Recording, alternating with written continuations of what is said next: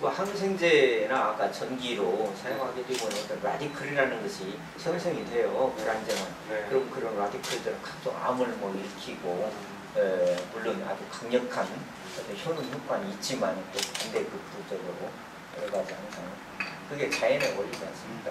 네. 한쪽이 강하고 한쪽이 약하고 네.